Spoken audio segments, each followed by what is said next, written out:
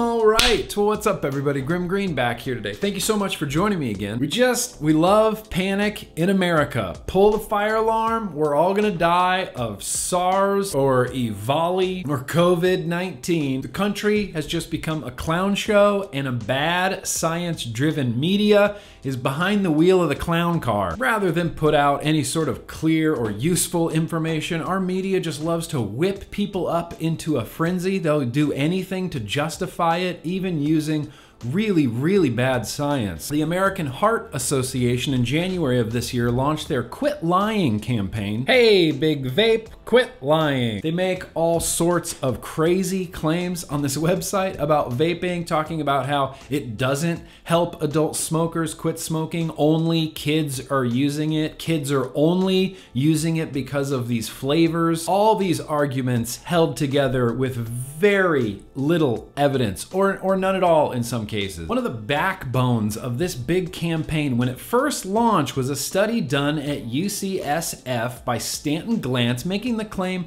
that vaping doubled your risk of heart attacks. Well, on February 20th, 2020, USA Today reported a study claimed vaping doubles risk for heart attacks. It's been retracted for being unreliable. This study was retracted, and this bit of information is now gone from the American Heart Association website. It was removed very, very quietly. The American Heart Association made no attempt whatsoever to make known that this huge study that they promoted and publicized on Twitter had been retracted, and that the claim of vaping doubling your risk of a heart attack is demonstrably false. Did our own Surgeon General, Jerome Adams, do anything himself to correct this information that he helped promote on Twitter, or did they kind of just let people keep believing that vaping causes heart attacks? Criminal in my opinion. Well, here we are in March and we have yet another study from Stanton Glantz that other scientists are saying, yes, needs to be retracted as well. Alex Norcia from Vice is the only person I've seen reporting on this I mean, maybe at all. Well, it turns out that old Stanton Glantz's gateway theory from vaping to smoking might be just a little bit of malarkey. This is the study that everyone regurgitates when they say things like, oh, vaping, you know, makes youth 10 times more likely to pick up cigarettes. How many times have we seen and heard that phrase? Glantz and the authors of this study might have had some questionable math in there, as well as not accounting for certain variables in the experiment, according to Brad Rodu. Brad Rodu. Brad Rodu, follow him on Twitter, professor of medicine, University of Louisville. Brad Rodu and his team recreated this UCSF experiment with the missing variables included and determined that vaping could not be independently associated with more smoking. Could not be independently associated with more smoking.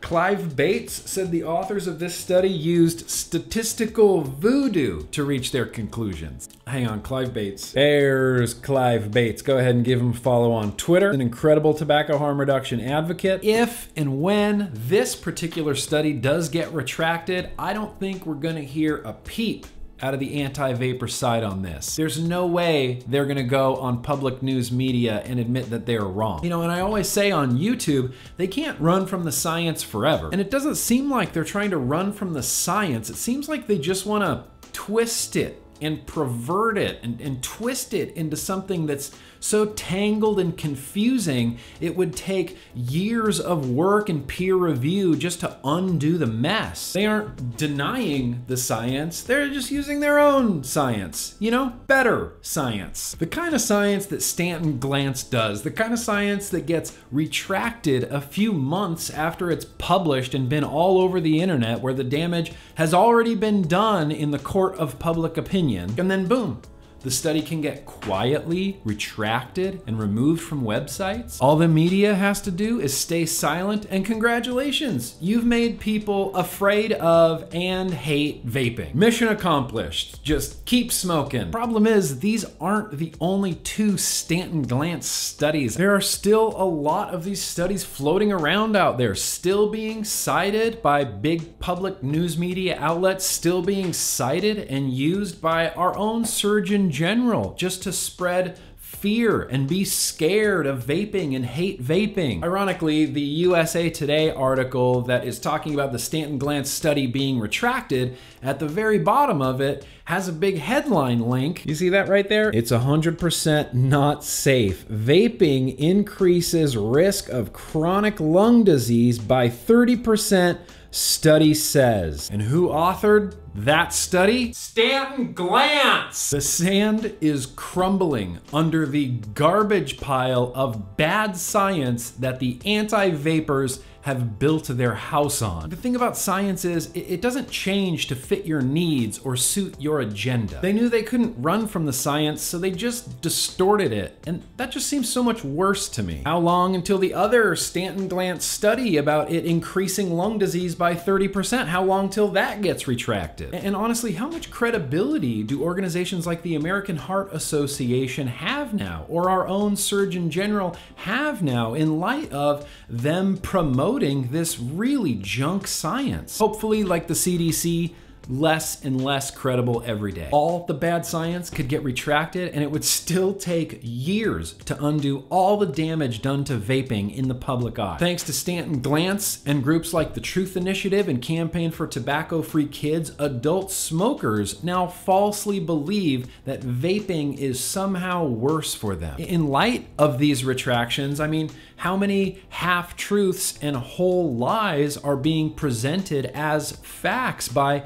seemingly credible people and organizations. Youth vaping epidemic, maybe? I mean, look, I'm not one to point fingers, but I think it's crazy that the United Kingdom, Public Health England, did a survey very similar to our own National Youth Tobacco Survey, only, you know, bigger and broader. They got very similar numbers on youth vaping, yet did not declare an epidemic. E-cigarette teen warnings unfounded, says Public Health England. So why did we? Well, CDC and FDA, they kept all of that data from everyone but themselves. They did press releases saying, oh, thousands and thousands of high school and middle schoolers, oh, they're all now addicted to vaping. Kids who previously would never have been a smoker. These numbers got inflated. They didn't need to prove this epidemic using numbers to anyone. Only now, years later, has the data finally been made available for other researchers to go through and verify these numbers. And the youth vaping epidemic doesn't just shrink, it damn near disappears. I'll have links in the description to everything I talked about in this video today. And I wanna end this really by encouraging everybody to do a little bit deeper of a dive on issues like this and be more critical overall, not just for bad vaping science, but for almost everything. The media needs panic and fear and outrage to get those views and those clicks and that revenue and that attention that they're seemingly addicted to. The truth, unfortunately, unfortunately, is just not always as sexy. Anyway, that's what I got for today, everybody. Thank you so much for watching. Like I said, I'll have all the links down in the description to everything I talked about in this video. And remember that no matter what any crooked politician tells you, yeah, absolutely, you guys, let's keep on vaping.